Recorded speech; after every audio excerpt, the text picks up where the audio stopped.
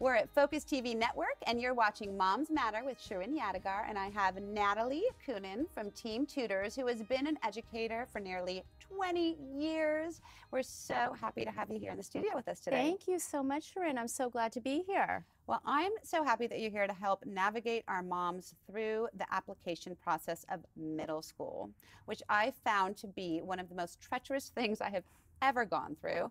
And this is perfect timing. So, this is June. Yep which means what do parents need to do as far as ISEE prep and signing up and so forth? Great. So well, this is the perfect time to get started. Okay. So the process is from June until late November, early December of your child's typically fifth grade year, sixth grade year, or eighth grade year, depending if they're applying out for sixth grade, seventh grade, or ninth grade, which are the three natural entry points to secondary school.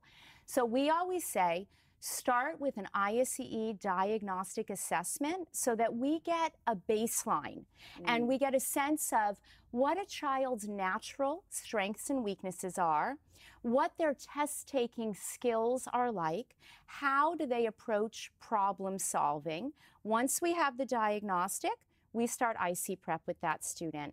Typically, we want to see students to prepare for the ISEE for between three and five months okay. so that they have a nice, consistent, weekly, not overwhelming mm-hmm. experience mm-hmm. preparing for it. They don't need to give up any of their activities right. like soccer and gymnastics. This is just a part of their fall. Um, ISEE registration itself opens in the middle of August. That's when parents sign up. Okay. And as you know, you can now take the ISEE twice. Yeah, so what does that mean for students? Good question. Good question. So, for most students, it's nice to know that you have two opportunities to take the test. It minimizes stress and anxiety. Our goal is to have students prepared to take one test. Reach their goal scores, do the best job they can do on that day. They need to do that before November 30th. That's what okay. the ERB company, who owns the ISEE, calls window one. So we target students to take the ISEE the Saturday before Thanksgiving. That's the ideal time. Now, students can have a bad day. Right. You can be coming down with the flu. Mm-hmm. You can say, Mom, it just wasn't my best day. Those students who don't reach their goal scores, we might recommend that they take the ISEE a second time. Okay. They can do that in what's called window two. Window two opens December 1st, okay. and our students would take that second ISEE in most cases the first or second Saturday of December. Right. And then in some cases, we would push it to early January.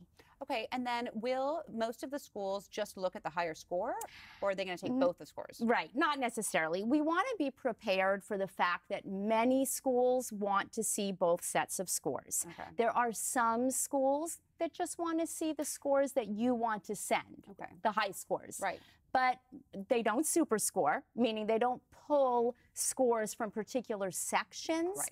So we prepare our families to submit, in many cases, both sets of scores, okay. but we also overall are recommending that students take this test once. It's long, it's three hours long, it's a big commitment. But what's nice is to know now that there is a second opportunity if a student needs it. Okay, so from personal experience, because I have gone through the process right, with right, you, yep. and my daughter had an exceptional tutor, and I thought the way that you placed the tutors with the student was just extraordinary.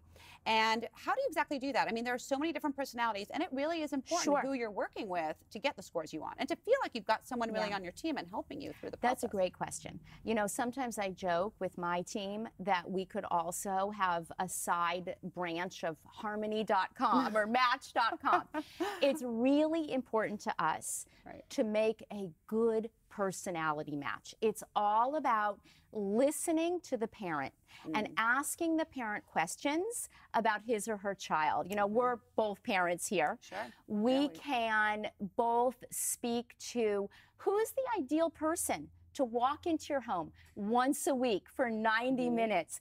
It's sort of like when you're choosing a great babysitter. Is that person kind, patient, um, high energy, or low key? Uh, an athlete, someone your son might identify with, or a cool female role model. Mhm. So we look at personality, we talk in depth to parents about who their child would benefit from mm-hmm. working with in terms of personality match. And then we look at the fact that your child's tutor is a role model, is a mentor, Yeah. is a cheerleader during this process, is someone who is going to be keeping anxiety down, boosting confidence. This is a hard test. It's a really hard test. This is a tough process. We want to make it positive, productive. These are the kind of skills, test taking skills, and strategies and techniques that set a student up for a lifetime of positive test taking, of not being anxious. And so the tutor who we pair your child with is probably one of the biggest pieces of the puzzle. It really is. And, and like you Yeah. said, it sets them up for the SATs and the ACTs and all the other tests they'll take throughout their lives. Yeah. Naturally, a lot of us have test taking anxiety. Sure. I mean. I almost have to say, without having the data at my fingertips, you know, at least 50% of us remember taking tests was hard for me. Um, 100%. so we build in a series of what we call stress busters. Fantastic. These are things that the tutor does. They're really tools that will help a child forever, especially a child with some test taking anxiety, Right. have the skills, have the strategies at their fingertips to make it a more positive experience on test day. That's wonderful. And the research really shows that if you know how to calm yourself and take your Mhm. anxiety, you're going to score higher. So that it really essentially is very important. um, reducing anxiety boosts confidence. Okay. So we look at it as scales and we look at it as taking anxiety down and confidence coming up.